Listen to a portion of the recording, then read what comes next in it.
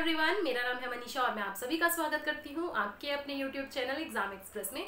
तो सपनों के साथ और अपनों के साथ आइए मिलकर के इस नए सफ़र की शुरुआत करते हैं। दोस्तों, जैसा कि मैंने आप लोगों से डिस्कशन किया था कि कोल इंडिया लिमिटेड की मेरी ज्वाइनिंग आई हुई है और एक एज अ मोटिवेशन के लिए मैंने एक छोटा सा टूर आप लोगों को करवाया था गेस्ट हाउस और गेस्ट रूम का। तो आई होप आप लोग इन्जॉय किए होंगे और आप लोगों को बहुत ही इंस्पिरेशन मिला होगा। तो आप अपने छोटे भाई बहनों के लिए इंस्पिरेशन बनिए, अपने माता पिता का नाम रोशन करिए और इसी तरीके से तैयारी करते हुए आप ज़रूर एक दिन सक्सेस को अचीव करेंगे। ये मेरी शुभकामनाएँ आप सभी लोगों के साथ हैं। और एक छोटा सा इन्फॉर्मेशन देना चाहती हूँ, अगर आप डी के लिए तैयारी कर रहे हैं तो एग्जीक्यूटिव ओपीबीडी एंड जितने भी पोस्ट हैं ओपीबीडी के जूनियर एग्जीक्यूटिव जूनियर मैनेजर आप सभी लोगों के लिए कस्टमर रिलेशनशिप मैनेजमेंट की क्लास मैंने कवर किया हुआ है और बहुत ही अच्छे तरीके से मैंने पूरा लेक्चर कंप्लीट किया है, पूरा कंप्लीट कोर्स है और बिल्कुल फ्री ऑफ़ कॉस्ट है।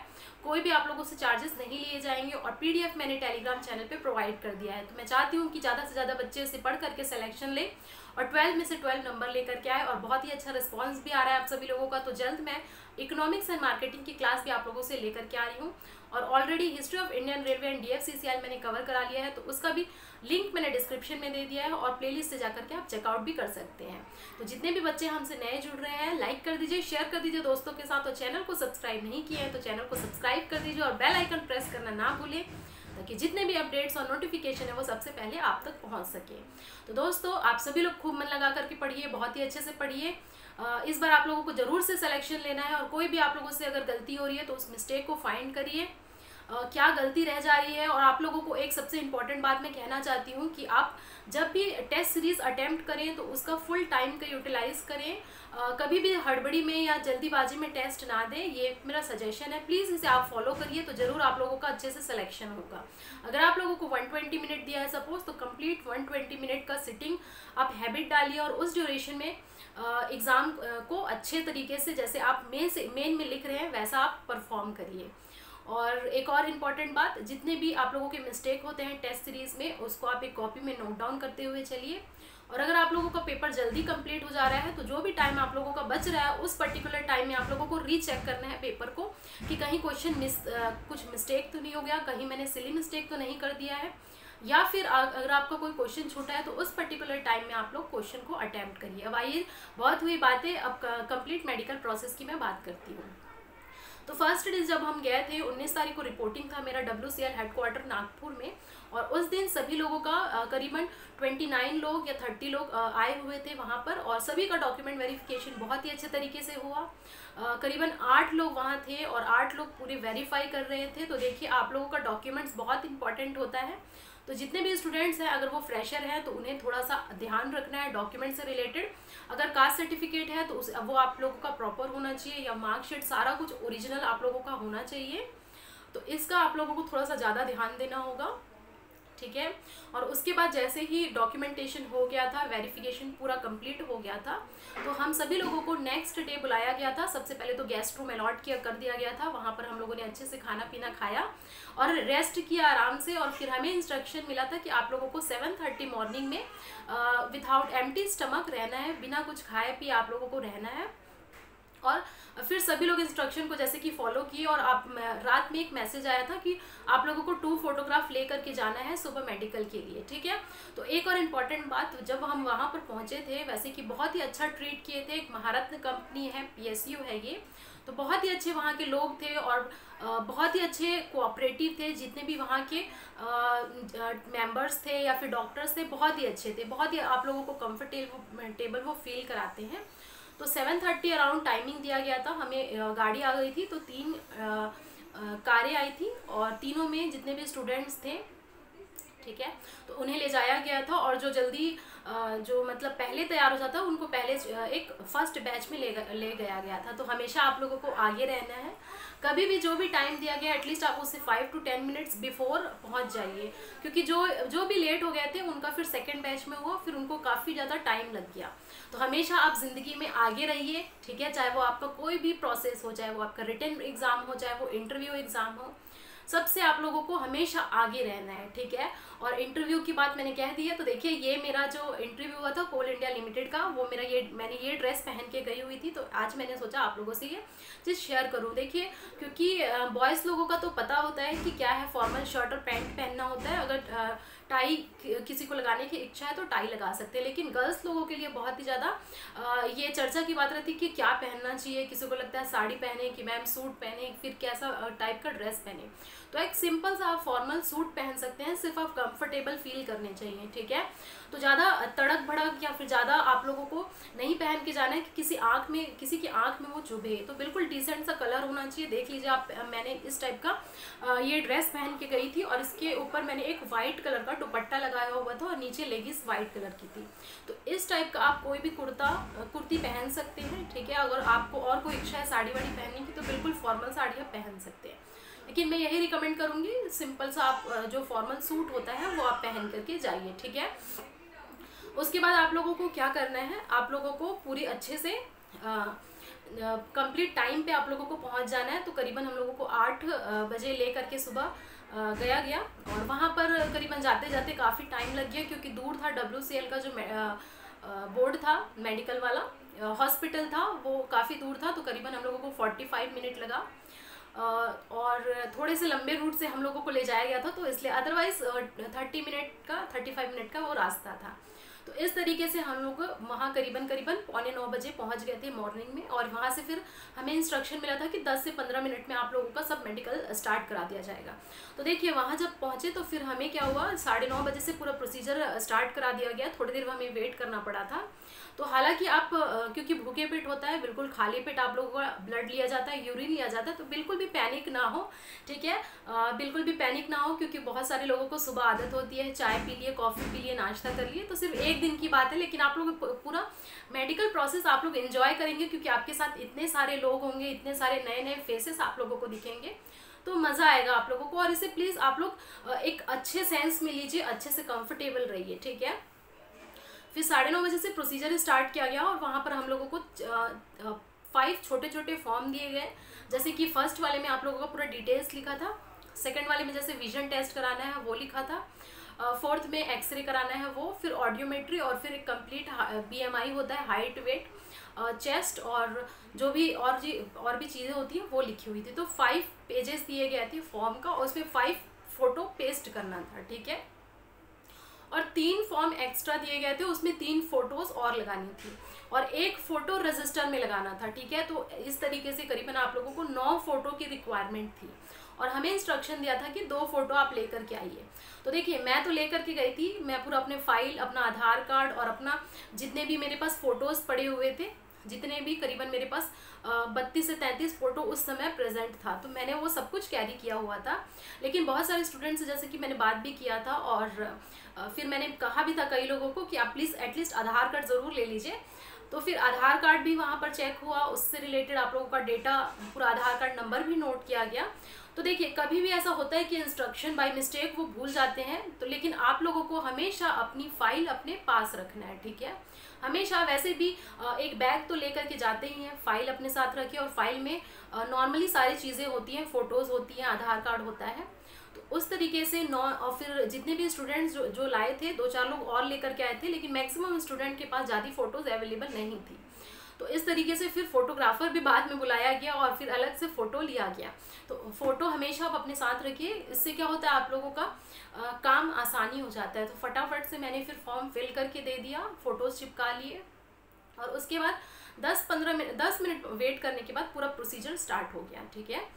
तो देखिए, सबसे पहला जो हम लोगों का हुआ था, वो हुआ था मेडिकल प्रोसेस में आप लोगों का जो पैथोलॉजी टेस्ट होता है, जिसमें ब्लड लिया गया था और फिर यूरिन लिया गया था। तो वहाँ जो सर थे और सब, क्योंकि सबसे पहले मेरा ही हो रहा था तो वो काफ़ी कंफर्टेबल फील कराते हैं। और जैसे कि मैंने, मेरा, मुझे अभी थोड़ा सा जुकाम फील हो रहा है।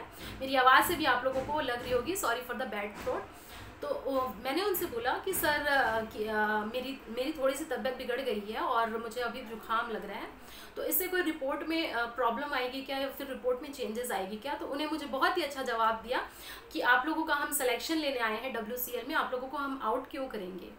इसका ये मतलब होता है कि सब लोग आपकी हेल्प करना चाहते हैं क्योंकि वो भी ये चीज़ जान, जानते हैं कि आपने रिटर्न टेस्ट क्वालिफाई किया है आपने इंटरव्यू क्वालिफाई किया है तो डेफिनेटली आप एक बहुत ही अच्छे काबिल इंसान होंगे। तो एक छोटी सी चीज़ के लिए आप लोगों को क्यों बाहर किया जाए? तो देखिए मेडिकल में बहुत ऐसा बहुत रेयर होता है कि अनफिट किया जाए जहाँ अगर कोई बड़ी बीमारी या फिर उस मेडिकल क्राइटेरिया को फुलफिल ना करे। थोड़ा बहुत ऊपर नीचे चलता है जैसे कभी किसी का बीपी हाई हो जाता है कभी हार्ट रेट हाई हो जाता है तो उससे कोई इशू नहीं है। ठीक है? तो उसके बाद उन्होंने ये कहा तो मुझे बहुत ही ज़्यादा फिर कॉन्फिडेंस आया कि कोई दिक्कत नहीं है, कोई प्रॉब्लम नहीं है। वहाँ से फिर ये यूरिन टेस्ट लिया गया और ब्लड लिया गया। फिर जो नॉर्मल रिपोर्ट होती है हेमोग्लोबिन कितनी है और जो पैथोलॉजी टेस्ट में जो फॉर्मेलिटी रहती है, वो वहाँ से रिपोर्ट बना करके बाद में वो सेंड कर देते हैं। तो उसके बाद ये फ़र्स्ट टेस्ट होता है सेकेंड होता है एक्सरे टेस्ट तो देखिए एक्सरे टेस्ट भी चाहे कोई भी मेडिकल हो एक्सरे टेस्ट लिया जाता है। और एक्सरे टेस्ट में फिर जो भी यहाँ हमारे चेस्ट का होता है कि आपको कोई प्रॉब्लम तो नहीं है लंग्स में कोई प्रॉब्लम तो नहीं है, कोई ब्रीथिंग प्रॉब्लम जो भी मतलब एक्सरे का जो चेस्ट का आता है, उसके अकॉर्डिंग वो लेते हैं एक्सरे टेस्ट और उसमें आप लोगों को एक जो भी गाउन दिया जाता है और फिर कोई भी मेटेलिक चीज़ नहीं होनी चाहिए, जैसे कि मैंने ये पहन रखा है तो ये सब चीज़ें उतरवा दी जाती हैं वहाँ पर। तो देख लीजिए, आपको कोई भी मेटेलिक चीज़ ज़्यादा वहाँ पर पहन के नहीं जाना है। तो इस तरीके से फिर एक्सरे टेस्ट लिया जाता है और फिर वो रिपोर्ट बाद में वहाँ पर सेंड कर देते हैं जो मेन ऑफ़िस रहता है। ठीक है? तो ये हो गया दूसरा टेस्ट और इसके बाद जो थर्ड टेस्ट हुआ था, वो हुआ था ईसीजी टेस्ट तो ईसीजी टेस्ट क्या होता है? हार्ट के लिए होता है। ठीक है? और इसका फुल फॉर्म आप मुझे कमेंट बॉक्स में कमेंट करके बताएँगे, क्योंकि ये आपके एग्ज़ाम के लिए इंपॉर्टेंट हो सकता है। और ईसीजी टेस्ट फिर लिया गया था। उसमें क्या होता है? पूरे यहाँ पर आप लोगों के जो जो भी उनके तरीका होता है, इसी जैसे जैसे बहुत सारे वायर्स रहते हैं, केबल्स रहते हैं, उसको पूरे बॉडी में, जैसे कि यहाँ पर फिट किया जाता है, यहाँ पर फिट किया जाता है, फिर लेग में किया जाता है, कुछ केमिकल्स लगाते हैं वो, कुछ जेल टाइप का केमिकल रहता है, वो यहाँ पर लगा करके पूरे आपके चेस्ट में लगाया जाएगा। और उससे फिर एक एक ग्राफ तैयार की जाती है हार्ट बीट का, और बहुत सारे ऐसे फैक्टर्स होते हैं। तो वो करीबन टेस्ट जो हुआ था, वो पाँच मिनट में कंप्लीट हो गया था। फिर ईसीजी टेस्ट कंप्लीट हो गया। साथ ही साथ रिपोर्ट भी दे दिए थे। तो कई लोगों का क्या होता है हार्ट रेट तेज़ हो जाता है, डर के मारे या फिर बहुत ज़्यादा दौड़ भाग होती है, इधर केबिन उधर केबिन में जाओ। तो इस तरीके से फिर ईसीजी टेस्ट हुआ था। और बिल्कुल भी आप लोगों को घबराने की ज़रूरत नहीं है, वो हेल्प आपको करते हैं, बहुत ही अच्छे तरीके से बात करते हैं। और इवन मेरा बहुत ही अच्छा एक्सपीरियंस रहा था कोल इंडिया के साथ। और चाहे आप कोई भी पी में जाए, चाहे आप ओ में जाए चाहे आप आई में जाए किसी भी पी में जाए या फिर कोई भी हॉस्पिटल में जाए, बहुत ही अच्छे से ट्रीटमेंट की जाती है। हालाँकि रेलवे में उस समय जब मेरा मेडिकल हुआ था, मेरा आर आर बी जेई भी क्लियर था तो उस समय ईसीजी टेस्ट वहाँ नहीं कराया गया था, लेकिन इस टाइम ईसीजी टेस्ट भी कराया गया था। तो इससे क्या होता है, आपका हार्ट में कोई प्रॉब्लम तो नहीं है, ये देखा जा रहा था। या फिर कोई बड़ी बीमारी तो नहीं है, इस टाइप का ईसीजी टेस्ट होता है। तो ये हुआ था थर्ड टेस्ट हो गया। फिर फोर्थ टेस्ट कराया गया था विजन टेस्ट। तो विजन टेस्ट आपका एक इंपॉर्टेंट रोल प्ले करता है आ, किसी भी मेडिकल के लिए लेकिन जब आप रेलवे के लिए जाते हैं या फिर आप डी एफ़ स्केल के लिए तो थोड़ा सा विजन टेस्ट इंपॉर्टेंट हो जाता है और फिर विजन टेस्ट कराया गया। तो विजन टेस्ट नॉर्मली जो होता है पढ़ने के लिए देते थे तो इस टाइम मुझे नंबर नंबर हम लोगों को दिया गया था रीड करने के लिए। और जित, जितना भी विजन है आप बिल्कुल भी आप घबराइए मत चल जाता है। ठीक है परफेक्ट जैसे सिक्स बाई सिक्स होता है विथ ग्लासेस विदाउट ग्लासेस चल जाता है। तो with glasses I think six by nine six by twelve six by eighteen और ट्वेंटी फोर तक शायद अलाउड होता है। जब मैं कंप्लीट और अच्छे तरीके से विजन टेस्ट पे फोकस करूँगी तो वहाँ मैं नेट में डिस्कस कर दूँगी। बाकी आप लोगों को घबराने की बिल्कुल भी ज़रूरत नहीं है विजन टेस्ट के लिए। और कोई भी चेक नहीं किया जाता है कि किसी की सर्जरी हुई है या नहीं हुई है, क्योंकि वैसे भी ये ऑफिसर ग्रेड की जॉब है तो इसमें इतनी रिक्वायरमेंट नहीं होती है, ठीक है? और उसके बाद फिर जो colour colour colour blindness test है, वो इंपॉर्टेंट होता है, वो ज़रूर से आप लोगों को चेक किया जाएगा। तो कलर ब्लाइंडनेस वुमेंस में वुमेन में थोड़ा सा कम होता है, बहुत ही कम होता है रेयर होता है, लेकिन मेल में पाया जाता है तो ये चेक कर, ज़रूर चेक करते हैं कि कलर ब्लाइंडनेस है या नहीं है। ठीक है? तो इससे आप बचें।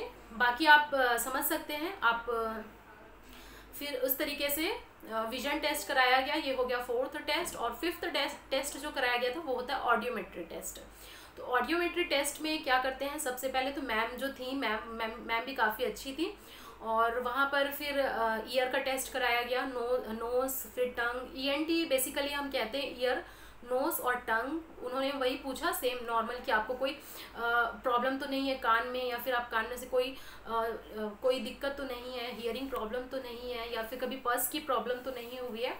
तो बहुत सारे लोगों को ये प्रॉब्लम होता है, लेकिन ये इग्नोरेबल होता है। इतना कोई ज़्यादा दिक्कत वाली बात नहीं होती है, ठीक है?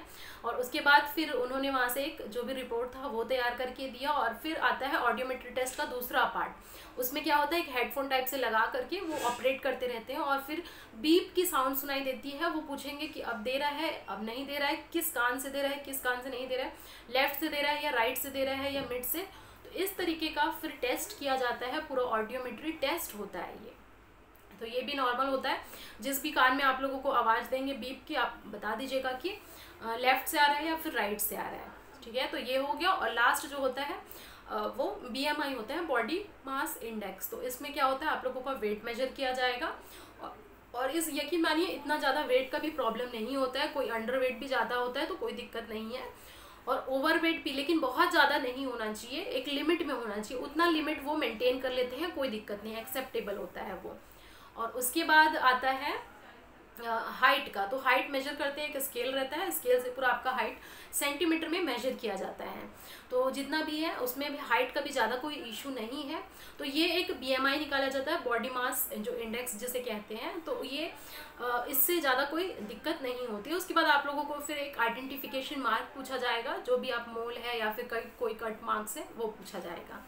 तो इतने सारे टेस्ट होते हैं और अगर कोई कोई मैरिड है तो उनसे अलग से टेस्ट कराया जाता है। प्रेगनेंसी का पूछा जाता है या फिर जो भी टेस्ट जो गाइक गाइक्लोन होती हैं, वो डॉक्टर वो पूछती हैं, ठीक है?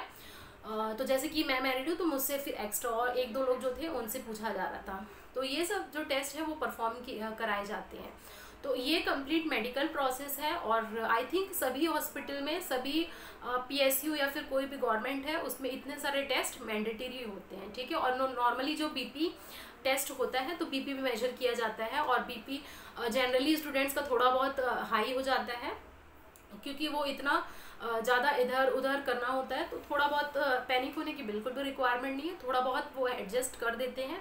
एकदम ज़्यादा आप लोगों का बीपी नहीं होना चाहिए, जो नॉर्मल है, उससे थोड़ा बहुत ऊपर नीचे चल जाएगा प्लस माइनस फाइव या प्लस माइनस टेन तो इस तरीके से पूरा कंप्लीट मेडिकल प्रोसेस होता है।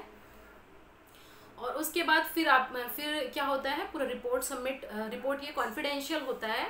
दो चार रिपोर्ट जो फिट मेडिकली फिटने फिट है या नहीं है, वो डायरेक्ट कोल इंडिया लिमिटेड के हेडक्वार्टर कोलकाता में सेंड कर दिया जाता है। उसके बाद फिर ज्वाइनिंग रिपोर्ट वहाँ से तैयार की जाती है फॉरवर्ड किया जाता है स्टूडेंट्स को। तो करीबन एक, दो हफ़्ते बाद ये पूरा प्रोसेस कंप्लीट होकर के वापस से ज्वाइनिंग रिपोर्ट ज्वाइनिंग लेटर भेज दी जाती है। तो ये होता है पूरा कंप्लीट मेडिकल प्रोसेस और मैं चाह रही थी कि जहाँ पर मैं जाऊँ हेडक्वार्टर में नागपुर के और वहाँ पर मैं ये चीज़ शूट करूँ बट मुझे बिल्कुल भी टाइम नहीं मिला। जैसे कि हमारा मेडिकल प्रोसेस एक बजे कंप्लीट हुआ और वहाँ से हम डेढ़ बजे निकल गए।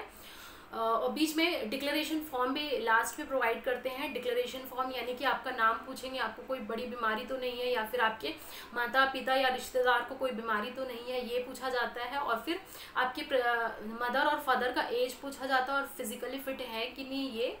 और फिजिकली एंड मेंटली यानी कि ओवरऑल वो फिट है कि नहीं ब्रदर्स या सिस्टर्स कितने हैं लिविंग है या डेड है, ये सब जो डिक्लेरेशन है वो पूछा जाता है। लास्ट आपने वैक्सीन कब लिया था वो पूछा जाता है। तो जैसे कि कोविड वैक्सीन अभी चल रहा है तो बहुत सारे स्टूडेंट कोविड वैक्सीन लिख दिए थे, लेकिन हालाँकि मुझे रिसेंटली कोविड हुआ था तो मैं अभी वैक्सीन नहीं ली हूँ। तो मैंने उनसे पूछा तो उन्होंने कहा कि आप पोलियो वैक्सीन लिख दीजिए या फिर नॉर्मली यस लिख दीजिए।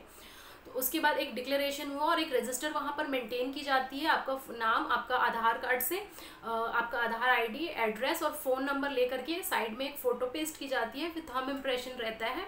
तो गर्ल्स के लिए हमेशा राइट हैंड का थम इम्प्रेशन लेते हैं और बॉयज़ के लिए लेफ़्ट हैंड का थम इम्प्रेशन लेते हैं। तो ये लिया गया साइन किया गया और ज़रूर आप अपना कॉन्टैक्ट नंबर अच्छे तरीके से दें और ईमेल आईडी अच्छे से दें। ठीक है, अगर आपके पास दो फ़ोन नंबर है तो दो फ़ोन नंबर भी आप लिख दीजिए, क्योंकि कोई भी अगर प्रॉब्लम होती है तो डायरेक्टली आपको कॉन्टैक्ट की जाती है, या फिर अगर आपका कोई डॉक्यूमेंट खो जाता है, कई बार इतने सारी पर्चियाँ होती हैं डॉक्टर की तो एक आध गिर जाता है तो उसके लिए फिर आपको कॉन्टैक्ट करने में उनको आसानी होती है। ठीक है? तो ये सारा कंप्लीट मेडिकल प्रोसेस मैंने आप लोगों से डिस्कस किया और उम्मीद है जल्दी आप लोग सिलेक्शन लेंगे। जिस भी कंपनी या जिस भी आप ऑर्गेनाइजेशन को ज्वाइन करना चाहते हैं तो आई होप ये आप लोगों को इन्फॉर्मेशन बहुत ही यूज़फुल लगी। तो वीडियो को अच्छे तरीके से पूरा कंप्लीट देखा करिए, अच्छे से पूरा एक एक लेक्चर आप ज़रूर सुना करिए और जल्द ही हमारे चैनल पे और भी बहुत सारे वीडियो आने वाले हैं नॉन टेक्निकल एंड टेक्निकल तो थोड़ा प्लीज़ आप मुझे समय दीजिए, मैं जल्दी आप लोगों के लेक्चर्स भी स्टार्ट कर दूँगी। तो हमारा जल्द ही लेक्चर आने वाला है और उम्मीद करूँगी कि आप लोग इन्जॉय करेंगे। तब तक के लिए tata bye bye see you soon in the next video thank you very much like share and subscribe to this channel